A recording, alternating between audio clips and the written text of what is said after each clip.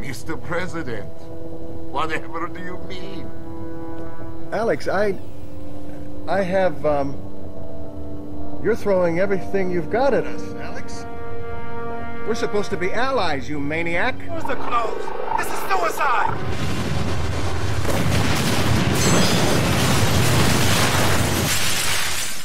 Is it done, Yuri? No, Comrade Premier. It has only begun.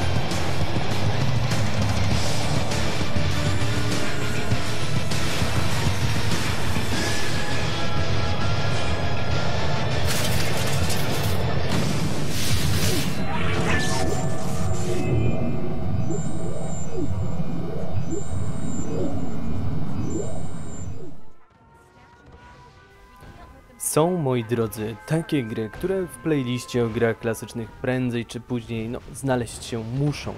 I naprawdę długo myślałem też nad tym, jaką część z całej tej serii wybrać, żeby wam przedstawić.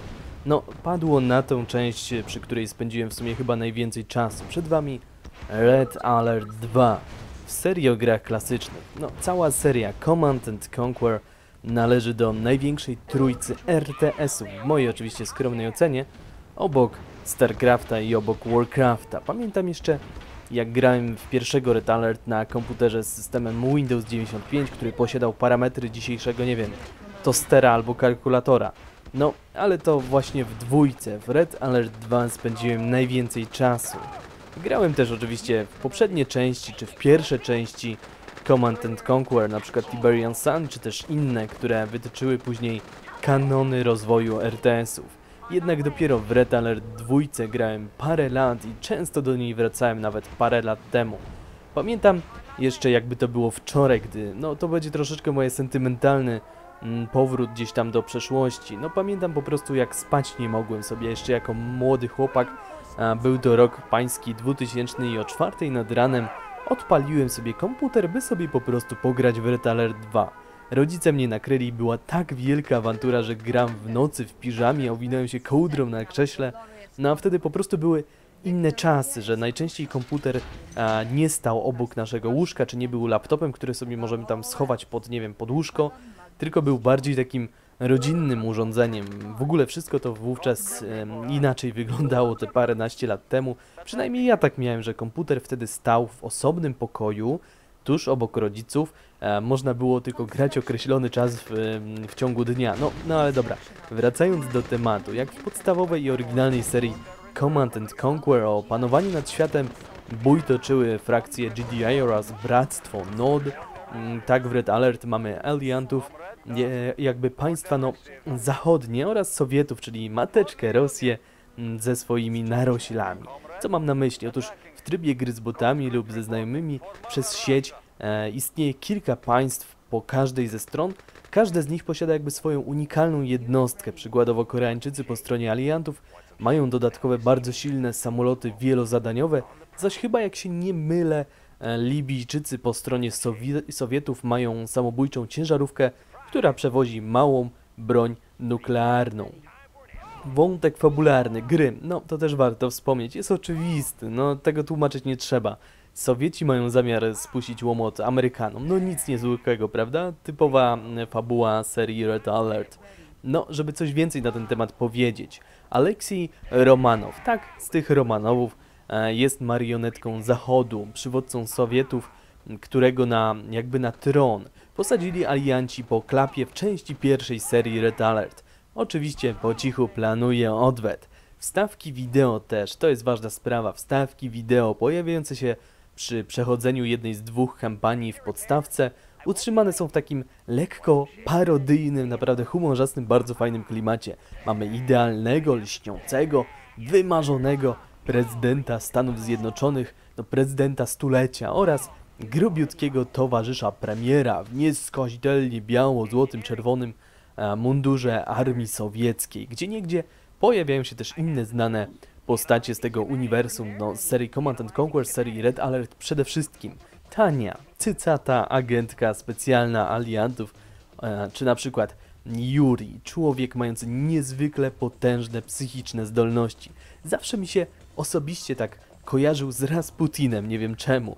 Nie wiem też, czy wiecie, ale by móc nagrać dwuminutową wstawkę wideo do tej gry z udziałem Yuriego, osoby zajmujące się makijażem na, wśród aktorów spędzały nad tym aktorem, który grał e, Yuriego blisko kilka godzin, bowiem miał na sobie bardzo dużą ilość sztucznych elementów, praktycznie pół jego głowy pokrywały sztuczne elementy, nos, czoło, nawet broda była sztuczna, zaś aktor, który go grał, zupełnie inaczej wygląda niż sam Yuri.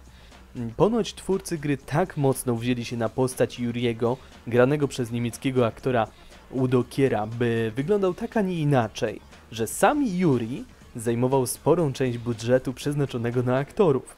Z lekką nutką parodii i humoru we wstawki też wideo wprowadzono m.in. jakby no, statystów, coś w tym stylu, stylizowanych troszeczkę na jednostki z gry. Przykładowo żołnierzy Shock Trooper z bronią energetyczną widocznych na koniec kampanii, czy w pewnym momencie wręcz prześmiesznie przebrany szalony Iwan, Crazy Iwan, taka jednostka z gry, zabija jednego z głównych bohaterów alientów w samobójczym ataku. Zaś kiedy alianci wkraczają na Kreml, no to zostają Romanowa w gadkach, w sierpki i młotki. Sama gra oczywiście kontynuuje wątek wytyczony przez pierwszą część i ogółem przez całą serię Command and Conquer. E, wszystkie gry z całej tej serii są bardzo charakterystyczne i naprawdę nie sposób jest pomylić e, jakiejkolwiek gry z serii Command and Conquer z jakąkolwiek inną serią RTS-ów. Budujemy bazy, ulepszamy obronę strategicznych miejsc, budujemy jednostki, którymi przyjdzie nam podgryzać wroga. W trybie kampanii będziemy mogli toczyć taki futurystyczno właśnie parodyjny bój e, w wielu znanych miejscach. Nowym Jorku, Paryżu, Waszyngtonie, oczywiście Moskwie. No, fabularnie można powiedzieć troszeczkę, że jest to parodyjne, bowiem e, przykładowo możemy użyć wieży Eiffla w którejś tam misji chyba fabularnej, w którejś misji wątku e, kampanii uży, używamy wieży Eiffla jako broni. Ciężko jest tutaj naprawdę coś więcej opisać o samej rozgrywce. No jest to typowy, klasyczny RTS. Każda jednostka ma tutaj swoje duże zalety i duże wady. No, ciężko jest cokolwiek więcej na ten temat powiedzieć. Jedna jednostka nadaje się do jednych sytuacji, inna do innych. Musimy też dbać o zasilanie, bowiem na przykład zniszczenie elektrowni sprawi, że wiele naszych fortyfikacji nie będzie działać, a produkcja będzie wolniejsza. Oczywiście Sowieci muszą, ale to absolutnie muszą mieć reaktor jądrowy. Trzeba też dbać o obronę pojazdów zdobywających dla nas pieniądze na budowę. Taktykę, taktykę czuć tutaj po prostu na każdym kroku. Przykładowo możemy wysadzić mosty, skazić odpadami radioaktywnymi złoża surowców nieopodal bazy wroga, czy ustawić e, zamaskowane czołgi Mirage w zasadce, bowiem one jeżeli się nie poruszają, imitują drzewa czy inne elementy otoczenia.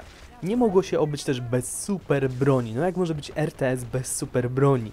Alianci stawiają na technologię, mogą kontrolować pogodę i wywoływać mm, w jednym miejscu potężną burzę lub użyć chronosfery do przeniesienia niewielkiej ilości wyłącznie pojazdów w dowolne miejsce. Sowieci jak to Sowieci, no bo jakżeby inaczej, broń nuklearna oraz tak zwana żelazna kurtyna, czasowo dająca mm, niewielkiej ilości jednostek po prostu pełną nieśmiertelność. Wiele też jednostek posiada swoje dodatkowe cechy, no, przykładowo do transportera e, aliantów, jeżeli wsadzimy żołnierza piechoty, to zamieni się ten wóz wjeżdżący jakiś tam opancerzony pojazd z karabinem. Jeżeli inną jednostkę, no to też efekt będzie e, inny. Swego czasu też Red Alert był po prostu majstersztykiem. Nie tylko zawierał wspaniałą i powalającą jak na tamte czasy oprawę wideo, ale również był marketingowym dziełem, wbrew pozorom. Twórcy gry kultowe i niestety już niezbyt żyjące studio Westwood tworzyło tę grę w tajemnicy, robiąc niesamowicie pompatyczną i mocną akcję promocyjną, kiedy już fani wiedzieli, że będzie Red Alert 2. Z pewnością to też przyczyniło się do tak dużego sukcesu tego tytułu.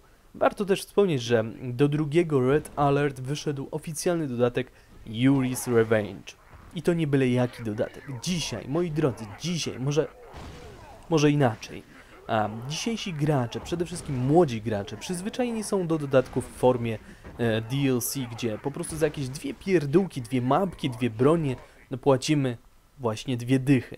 Tutaj otrzymaliśmy praktycznie całą nową grę, nową potężną kampanię, e, kilkanaście nowych map właśnie w tej kampanii, kilkanaście nowych map do trybu sieciowego, gdzie walczymy z nową frakcją, całkowicie nową frakcją, oczywiście mutantami Yuriego. Również później tą frakcję możemy potem e, wykorzystać w trybie sieciowym i pobawić się tym wszystkim, z czym walczyliśmy w trybie dla jednego gracza, czyli w sumie dostawaliśmy jedną trzecią gry w całym dodatku. To się nazywał dodatek, a nie to, co dostajemy do dzisiejszych gierek typu a, Battlefield, gdzie kupujemy praktycznie drugi raz tą samą grę, żeby móc w ogóle w nią grać. Yuri przeszedł też do takiej troszeczkę growej legendy, tak mi się wydaje. Oczywiście e, osobiście, osobiście, osobiście. Yuri kojarzy mi się, nie wiem, z Antonim Macierewiczem, no ale dobra, kontynuując wątek e, legendarności Yuriego. No, chyba jest to najbardziej rozpoznawalna e, postać w RTS-ach obok Artasa e, z Warcraft oraz Kerrigan ze Starcrafta. Pamiętam jak dziś w Red Alert 2 była ogromna ilość najróżniejszych ukrytych rozwiązań, jakich w sumie na próżno szukać w dzisiejszych RTS-ach. Naprawdę tych, tych rozwiązań było bardzo dużo. Przykładowo można było, jak się nie mylę, przejąć kontrolę nad cywilem, czy tam krową, czy czymś w tym stylu.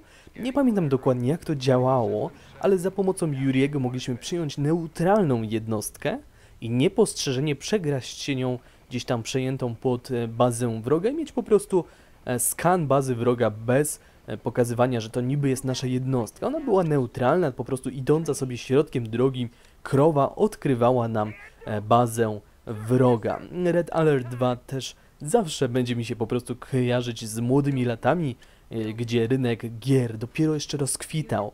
Zaś muzyka do tej gry, moi drodzy, muzyka do tej gry, która stworzona została przez Franka Klepackiego, amerykańskiego muzyka polskiego pochodzenia, uważam po prostu, że ta muzyka to jeden z najlepszych soundtracków w ogólnej historii gier. Temu tytułowi no po prostu musiałem prędzej czy później oddać hołd na moim kanale wśród innych gier klasycznych. Wiele osób pytało się mnie już wcześniej, czemu ten tytuł jeszcze nie znalazł się w tej playliście. Mm, otóż, moi drodzy widzowie, za mocno się zagrałem, po prostu za mocno się zagrałem, przez co klip opóźnił się nie o parę dni, a o parę tygodni. No, to by było na tyle. Powrót do Red Alert 2 na parę dni okazał się powrotem na ponad tydzień. Planowałem sobie też przejść kampanię tylko i wyłącznie aliantów i tylko i wyłącznie z podstawki. Przeszedłem obie i jeszcze kawałek z dodatku Yuri's Revenge. Cóż mogę powiedzieć, kto nie grał w Red Alert 2 lub jakąkolwiek część Command and Conquer nie grał w żadną część, przynajmniej w jedną, powinien zostać postawiony po prostu przed ścianą i ukarany przez światowy growy sąd. Nie znać tej serii to po prostu dla mnie zbrodnia przeciw growej ludzkości. Tyle.